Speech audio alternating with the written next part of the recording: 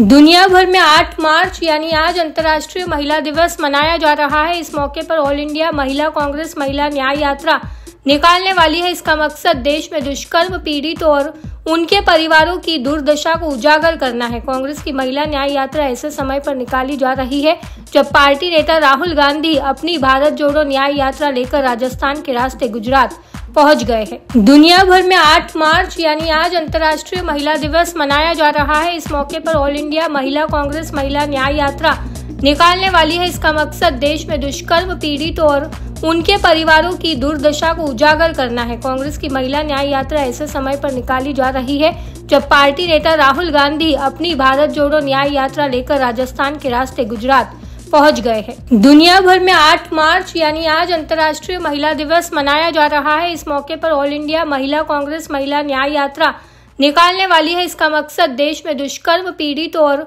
उनके परिवारों की दुर्दशा को उजागर करना है। कांग्रेस की महिला न्याय यात्रा ऐसे समय पर निकाली जा रही है, जब पार्टी नेता राहुल गांधी अपनी भारत जोड़ो न्याय यात्रा लेकर राजस्थान के रास्ते गुजरात पहुँच गए हैं।